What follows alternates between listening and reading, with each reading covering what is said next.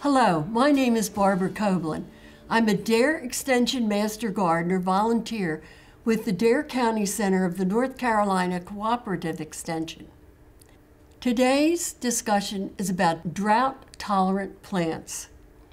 With all the changes that are occurring in our climate, warmer winters, hotter summers, less rain, it is necessary to reevaluate our gardening and landscaping routines incorporating plants that are better able to handle dry conditions. We're going to discuss water conservation. Plants that once established can tolerate the hot, dry conditions of the Outer Banks summers. Plants that are common to the area and available at local garden shops, and these include annuals, perennials, shrubs, and trees and how to plant and maintain your choices. Water conservation is very important to the Outer Banks because our lives depend on healthy waters. Think of all the activities you do in Dare County that depend on clean water. Pollution has become a problem not only in our area, but all over the world. The leading form of water pollution in North Carolina is stormwater runoff. Stormwater runoff is rainwater that does not soak into the ground. This rainwater runoff flows off hard surfaces, such as streets, rooftops, driveways, and parking lots, and carries pollutants directly into our waterways untreated. Water conservation is important because there are times our annual rainfall is low, and of course the summers are usually very hot also, during the summer, there is the increased population from our visitors who also need water. Xeriscaping means landscaping with water conservation in mind. A xeriscape, or water-wise landscape, will require minimal supplemental water after it's established. North Carolina is not considered an overall dry environment, but we do experience our fair of dry spells during drought conditions. It is these stressful times that will test the hardiness of a drought tolerant plant. Thankfully, North Carolina is home to more native plant species than perhaps any of the other states. In fact, North Carolina is home to more plant species than all of Europe put together. Many of these species are very tolerant of seasonal dry conditions, and you will find they will usually do better than exotic or hybrid plants. The simplest, most efficient rule you can apply when gardening is to pick the right plant for the right spot. How do some plants manage to be drought tolerant? Drought tolerant plants have built in features to minimize water loss and maximize water uptake. Plants may have reduced leaf areas and bear small leaves or needles, such as in the case of evergreens. Some drought tolerant plants with large leaves have deep indentations between the lobes in the leaves to reduce their leaf area. Another sign of drought tolerance is leaves covered with a heavy accumulation of wax, such as that seen in the white fir. This wax serves to conserve water within a plant. The presence of fine hairs on the leaves of some plant like silver sage is another adaptation that traps moisture at the leaf surface. Then there are drought-tolerant plants like false blue indigo that have deep roots that pull in moisture well below the plant's surface. Remember, a plant that is labeled drought-tolerant does not mean that plant prefers hot, dry weather or that they will not be affected by long periods of dry weather. What it does mean is that plants should be able to survive a moderate period of limited moisture once it is established. Begin with planting. Putting the right plant in the right place based on that plant's needs is so important. You must be able to say to a plant once it's established, if you cannot take care of yourself, you cannot stay. When planting your landscape or garden, you need to consider the soil type and drainage, areas of sun and shade, the areas that have problems with wind or salt spray, deer and other rodents eating your landscape, and the type of irrigation to be used. Group plants with similar needs together. Grouping plants based on their water use is one of the most functional ways to arrange plants within a landscape. When plants with similar water needs are placed together, you can decrease your time and water use. Aim for the highest number of low to moderate use water plants in one area rather than high water use plants mixed in with the others. Low water use plants need extra water only during establishment or the first growing season, depending on the type of plant. Moderate water use plants, once established, require water only during limited rainfall or when they show signs of stress. High water use plants need frequent watering throughout the growing season for the duration of their lives. Consider plant location. Plantings need large trees will have to compete for water with the tree roots. Plantings in open areas are affected more by wind and sun, which cause evaporation of water. And shaded soil, although it loses less moisture through evaporation than areas in full sun, doesn't make for happy plants that don't like shade. Plant only what you can water. Plants need the most water immediately after being planted and during establishment. Before choosing a plant, make sure that you're prepared to provide enough water during this time period. What do I mean by established?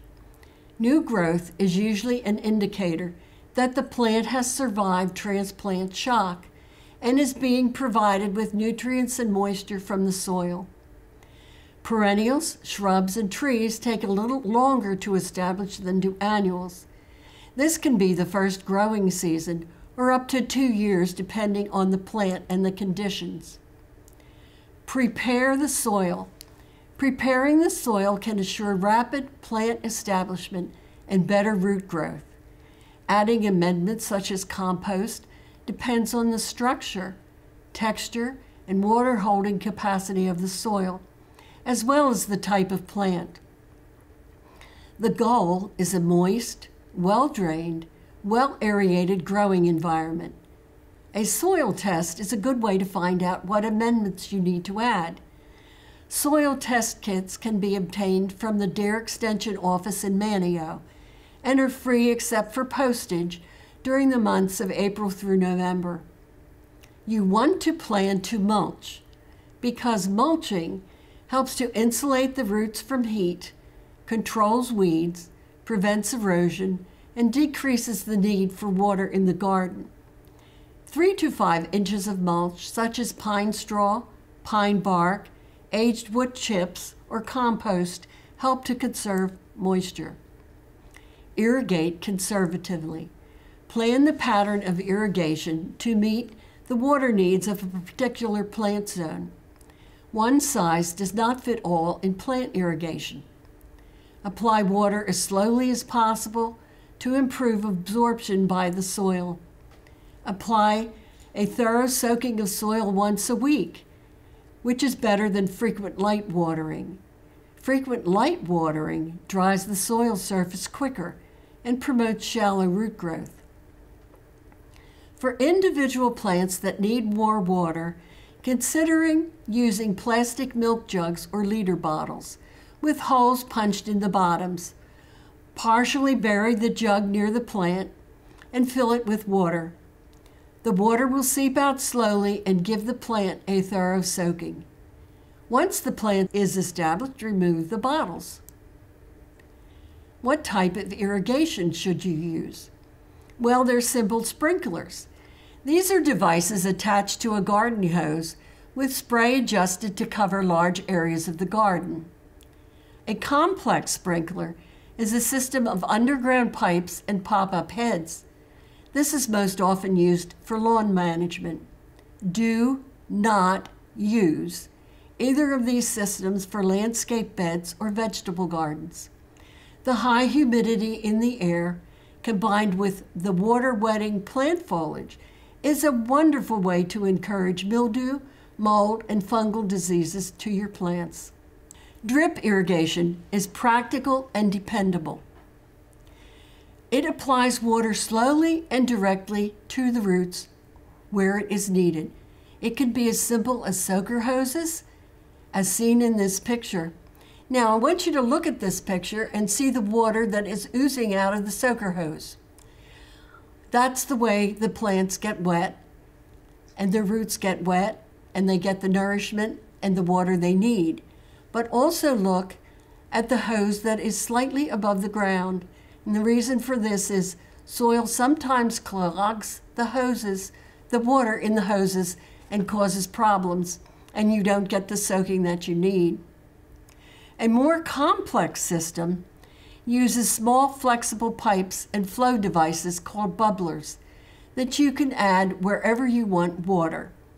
This usually costs much less to install than complex underground systems. The equipment can be purchased from big box stores and you can install it yourself.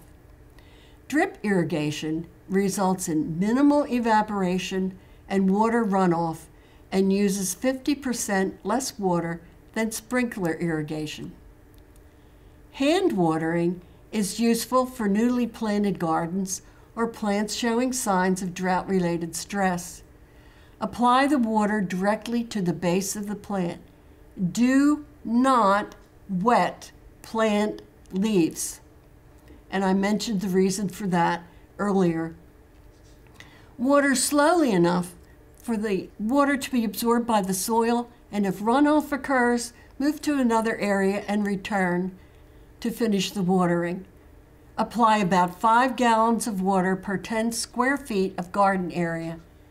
Check the output of your hose by calculating the number of seconds it takes to fill a gallon jug. Water gardens early in the morning. Between 6 and 10 a.m. is the best time.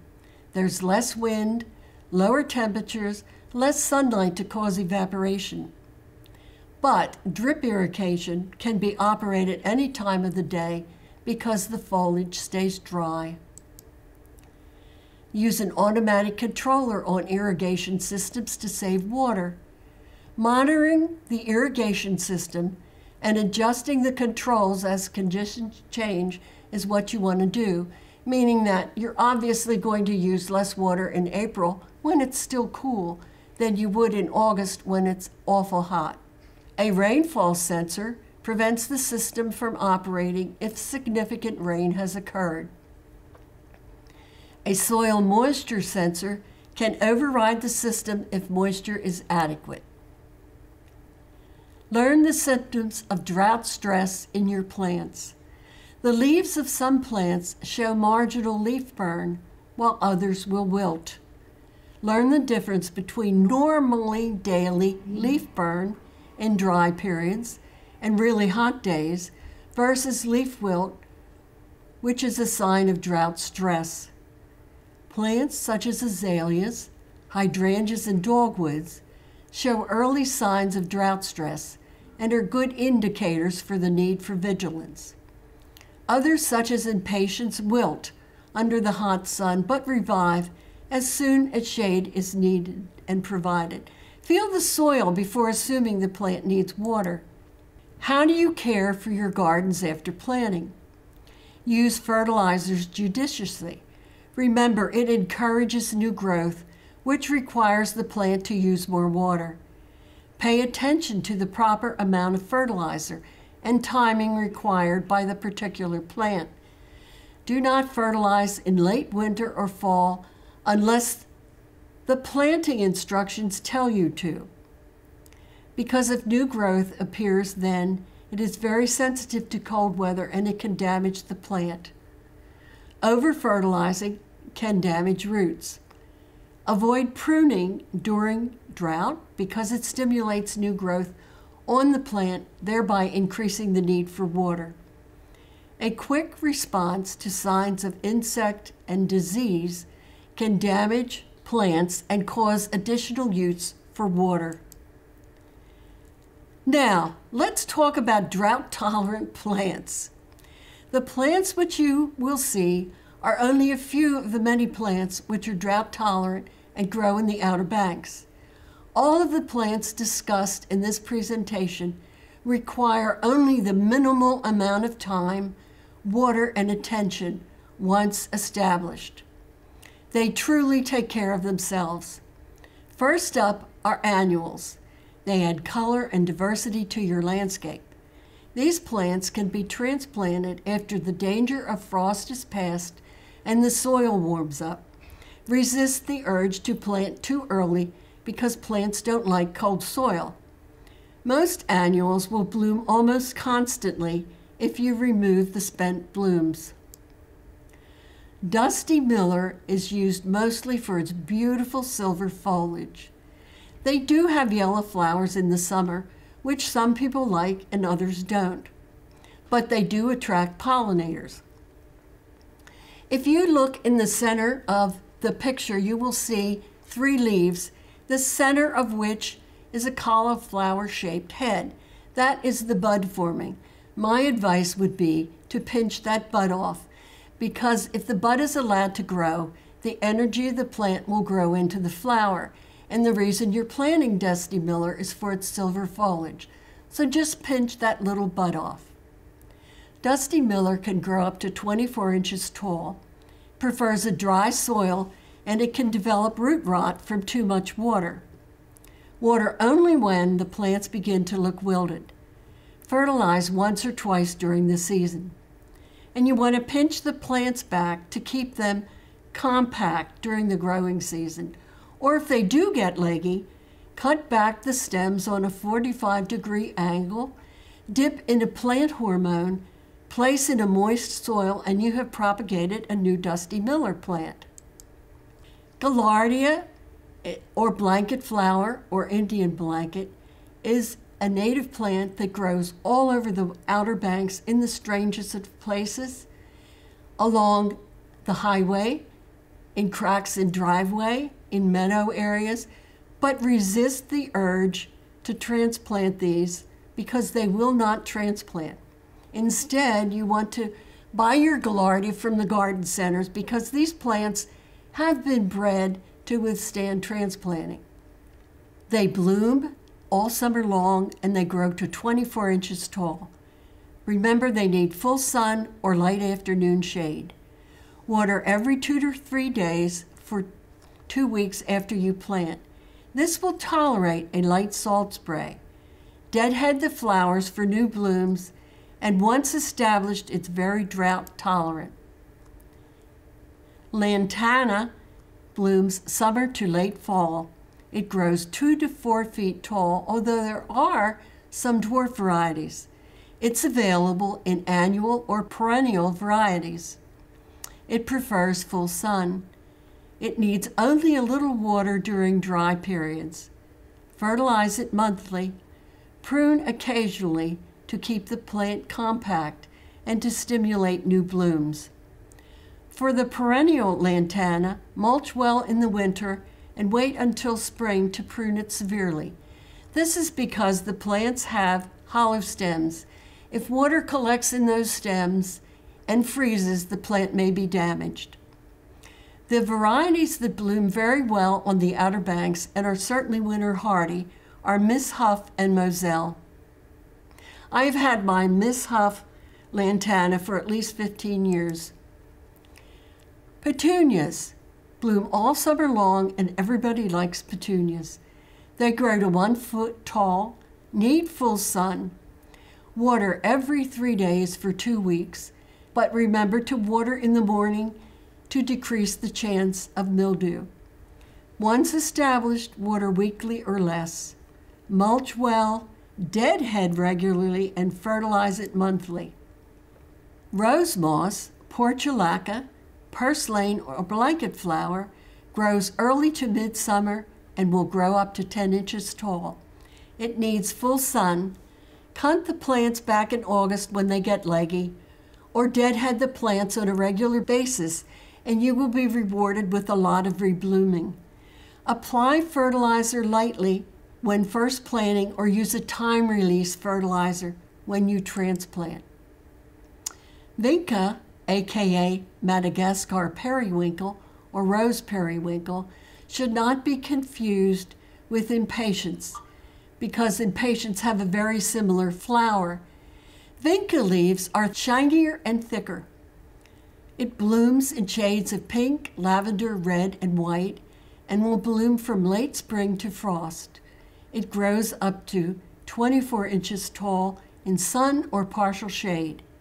Water it regularly until it's established, usually for the first month. For an annual, it's unusually drought tolerant, and as an extra bonus, it just may seed itself. Let's move on to ground covers. These are plants that are often overlooked for the garden until you discover a spot in the landscape that just cries for a ground cover.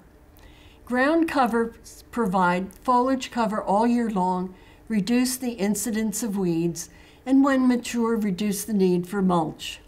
There is absolutely nothing more stunning than an area of blue rug creeping juniper. It is perhaps the most gorgeous of all the ground covers. It's an evergreen which produces this beautiful blue green foliage, grows shoots six inches long. Plant it in late spring to early fall in full sun. Water five minutes twice weekly for the first month. Mulch it well, fertilize each spring and fall, and needless to say, it works beautifully in borders. English ivy is the plant you cannot kill. It's an evergreen ground cover which produces runners that can grow six to four feet long. It can be planted almost any time of the year in partial to full shade. Space your root cuttings 6 to 12 inches apart because once it takes off, it takes off. Water well when first planted and after very dry periods during establishment. Once it's established, you may forget about it. Fertilize once when establishing a new bed, but then no more. It can cause problems if allowed to grow up the sides of houses or trees and is known to become aggressive in spreading. And if it does spread, you'll have to pull some plants out or prune it back severely. Liriope should not be confused with mondo grass or monkey grass, as they are different plants. It blooms in midsummer with these purple flowers that are resembling grape hyacinths. It grows to 18 inches tall. Depending on your situation, select the green liriope for sun or the white variegated liriope for shade. But they both grow well in both conditions, in any soil as well. Space the plants 15 inches apart as they spread rapidly by stolons, which are above ground runners and by terminal tubers, which are below ground runners, put out by fibrous roots. Fertilize at planting and mulch well. Water well after it's first planted and then limit irrigation unless it shows signs of stress. And if you wish, you can trim the leaves in the winter. Vinca, or periwinkle, or myrtle, has evergreen leaves that produce flowers in the early spring these flowers are gorgeous, and there's nothing prettier than a wide area of vinca with these beautiful flowers. Plant in the spring or the fall in shady locations. Water regularly for the first two weeks. Fertilize every other year and trim the plants as needed. These also, like ivy, tend to grow places where they shouldn't, and you can prune them back sharply or pull out some of the plants but once it's established, it's very drought tolerant. Drought tolerant perennials. Remember to deadhead spent blooms to encourage more bloom production. Fertilize once a year and divide every two or four years for a healthy, long lived plant. Bee balm, also known as bergamot or oswego tea, blooms early summer to fall. It attracts hummingbirds, bees, and butterflies. Plant it in the full sun to the afternoon shade each spring. Water twice a week for the first two or three weeks.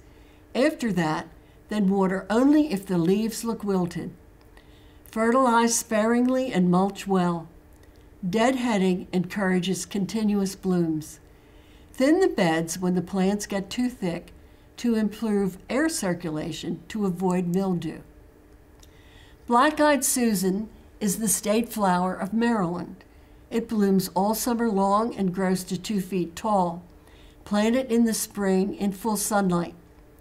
Water new plants thoroughly and every five days for the first month if there is no rain. Fertilize and mulch well in the spring. It grows abundantly and may have to be thinned, for when they are happy, they have a voracious growth, so much so that one of our Master Gardeners donates 100 plants each spring to our plant sale, and then the next spring there's another 100 plants to donate. Cut the stalks back in late fall. Leave the flower heads on the grounds for the birds to harvest the seed and remember that this is food for these birds. It's maintenance free once established. Coneflower grows in the summer in the eastern part of the U.S. and into the Midwest prairie areas. It grows two to five feet tall. Plant in the full sun or the light shade in the spring or fall, and if grown from seed, it will flower the second year. In extreme drought, water every only two or three weeks. It does not need much fertilizer, and it will rebloom if deadheaded. Cut the stalks in fall, but leave on the ground, as the centers contain seed, which are a wonderful food source for the birds. Coreopsis or tickweed is also a native plant that grows all over the Outer Banks, in drainage ditches, along the highway, in meadow areas. It has yellow flowers that bloom spring to fall, and it plants in spring or fall in full sun. Water twice a week for the first three weeks. Fertilize after the first blooming. Deadhead the flowers for greater plant bloom density and divide and transplant the crowns in the fall and give these new plants to your friends. It's essentially free of pests and diseases. Daylily blooms late spring to early fall, depending on the variety. It will grow one to four feet tall. You want to plant it in early spring or late fall, but keep in mind it needs six hours of direct sun daily for blooming. If it doesn't have six hours of direct sun daily, you will get foliage, but you will not get blooms. Water it well until the plants are established, and then you can forget about it. But remember to fertilize each spring and fall. Fern leaf, yarrow or golden yarrow, blooms all summer long and grows to three feet high. It grows well in poor soil and full sun. Set the plants three feet apart to decrease the incidence of mildew, as air circulation prevents mildew on these plants. Feed monthly to increase flowering. Deadhead and prune the foliage to increase the number of blooms. Use cut blooms to create beautiful dried flowers. Dry the flowers by hanging them upside down in a dry, dark place for about six weeks. Hardy salvia blooms midsummer to late summer, and it's a welcome addition to the garden because by then the annuals have begun to stress out from the heat. This is a flower that attracts pollinators. It grows one and a half to five feet tall depending on the variety, but it grows in full sun. Mulch it lightly, divide in the fall, only water occasionally in dry weather. Fertilize in late summer and make sure you deadhead those flowers. Russian sage blooms early to midsummer and gives the garden a wispy, airy look. It grows three to four feet tall, prefers an acidic soil. Set the plants three feet apart in full sun, as these can spread and become bushy. Trim the stems each spring to encourage shape.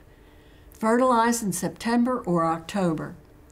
And once established, it can withstand terrible neglect. Goldenrod produces clumps of tiny flowers on tall spikes from August to November. It can grow from two feet to six feet tall. Plant it in full sun to partial shade. Water it well until it's established. It tolerates a moderate amount of salt and wind. And there is seaside goldenrod growing on the leeward side of a sand dune down at Oregon Inlet, so you know it's a tough, hardy plant. Goldenrod and ragweed are distinct plants that both bloom about the same time, August 15th to first frost. Goldenrod has bright yellow flowers, where ragweed doesn't even appear to have flowers, only pollen stalks. The flowers that might appear are white and very inconspicuous. As a result, goldenrod gets an undeserved reputation for causing allergies, while the real culprit is the unnoticeable and insignificant ragweed plant. Balloon flower, stonecrop, or autumn joy sedum blooms mid to late summer and, like salvia, is a welcome addition to the garden because it's new and fresh. It grows one and a half to two feet tall. Plant it in full sun in late spring. Water it well when planted, and then again two weeks later. Mulch sparingly. Fertilize each spring. It needs infrequent water during very dry weather. And prune the woody stalks after frost. We're moving into drought tolerant shrubs. These are shrubs which have learned to adapt themselves to the outer banks. The following are but a few, but you will recognize them and notice them all over the place. Butterfly bush is one of my favorites. It's also called summer lilac.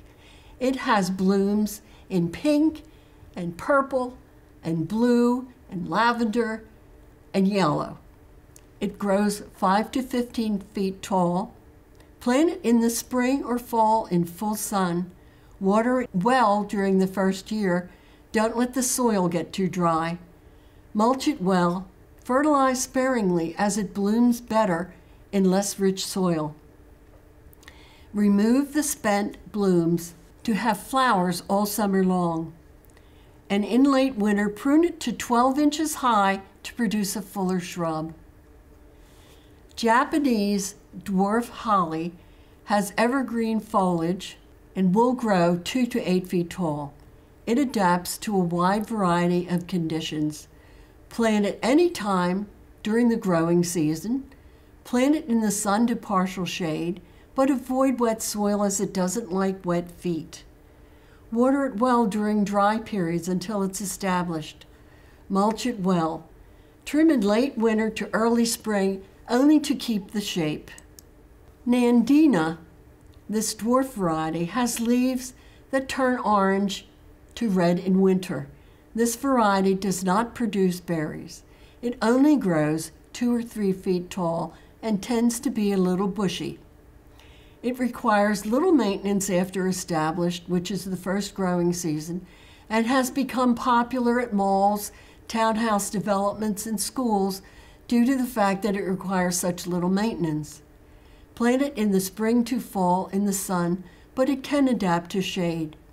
Water every third day for the first two weeks. Fertilize it lightly each spring or fall, and thin and mature plants in the spring to remove some of that bushiness. Indian hawthorn produces pink or white flowers in late spring. It can grow up to four feet tall. It flourishes in hot locations. Plant it in full sun to partial shade, but this plant wants alkaline soil. Water every third day for two weeks after planting and regularly during the first year. Mulch it well. Prune in late winter to remove any winter damaged foliage. The flowers bloom from old wood, which means this year's flowers bloom on last year's new growth. Pittosporum comes variegated or plain, but both varieties produce these tiny yellow flowers that are fragrant. It can grow 10 to 15 feet tall, and if desired, you can prune it to a small tree. Plant it in late winter or spring in partial shade or sun in an acidic soil. It grows best if protected from the winter wind. Water weekly during the first season. Fertilize in March and know that it's very drought resistant once it's established. Dwarf spirea produces tiny clusters of pink flowers in the summer. It grows two to four feet. Plant it in the spring or fall in full sun three feet apart. Water every three days for the first two weeks, then weekly until it's established. Fertilize each spring, and trim the flowers in the summer to produce fall blooms. Prune in late winter to remove any excess twiggy growth. Viburnum has pretty pink to white clusters of flowers in early spring and comes in many, many cultivars. It grows 6 to 10 feet tall. It prefers full sun but can tolerate late afternoon shade. Plant in the spring, preferably in an acidic soil. Fertilize after flowering. Water during dry spells for the first year, which means water once a week if there has been no rainfall. Once established, it's very drought tolerant. And trim the plants only to maintain their shape. Now, it does have one problem it tends to get leaf spot disease. But if you rake up any leaves that have fallen to the ground, this will probably prevent this problem. Wax myrtle, or southern bayberry, or wax bayberry, is a plant that blooms all over the Outer Banks. It is a native, evergreen foliage with spring flowers that are not showy at all, but produce gray berries. The leaves smell like bayberry candles. It grows 5 to 20 feet tall. Plant it from spring to fall in partial sun or shade. Tolerates any type of soil. Water three times weekly for the first month. Fertilize and prune annually in the spring. It produces an abundance of suckers from the base of the plant. These may be considered undesirable. If they're pruned off, you can give the appearance of a small tree rather than a shrub. If you prefer a shrub, leave them alone. The abundance of many leaves grouped tightly together give birds protection from the elements and predators. The roots replenish nitrogen back into the soil. We're very fortunate to live in a place that has five areas of maritime forest. Many different species of trees grow in these areas, having adapted to the climate eons ago. The following trees or choices you can make for your landscape, which, once established, are leave me alone, I'm fine trees. There's nothing more magnificent than a mature bald cypress. The needles are light green in the spring and turn to rust in the fall. The first time I ever saw a rust colored bald cypress, I was sure it had a fatal disease. They can grow up to 100 feet tall. This is a deciduous conifer, meaning it loses its leaves in the winter. It grows moderately fast and it tolerates wet or dry soil, and it rarely needs additional fertilizer.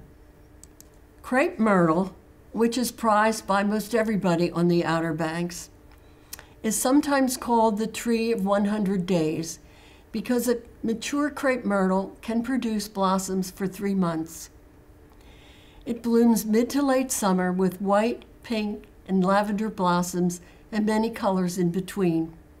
It thrives in hot, sunny locations. It will grow in any type of soil, although if asked, it will tell you it prefers acidic soil. Plant it in early spring Water weekly until it's established. Fertilize each spring and prune only with attention to shape. The eastern red cedar is an evergreen that produces blueberries in the fall. It can grow 10 to 40 feet tall. Plant it 3 to 6 feet apart as it does bush out. It does best in dry soil and full sun. How's that for an Outer Banks plant? Uh, water it well until it's established. It's a slow grower. And best of all, it's free of insect pests and diseases. The Hollywood juniper, very dramatic, is a slow growing evergreen with branches that twist as it grows. It grows 20 to 30 feet tall. Plant it in full sun in the fall. It will grow in acidic or alkaline soil, and it's heat and salt tolerant. Water it well until established, and thereafter forget about it. The last tree is the live oak, sometimes called the southern symbol of strength. It has evergreen foliage, but it's not a true evergreen. It can grow 100 feet tall, except on the outer banks, where the wind makes a regular habit of pruning it constantly. It needs lots of room to grow in full sun. Plant it in fall or winter, mulch it well, water twice weekly for one month until it's established. It has tough, leathery leaves that resist salt spray. The leaves drop in late winter or early spring when the new growth pushes the old leaves off. And it produces an abundance of acorns, which is a staple food for wildlife. Well, what have we found out? We have discussed the importance of water conservation,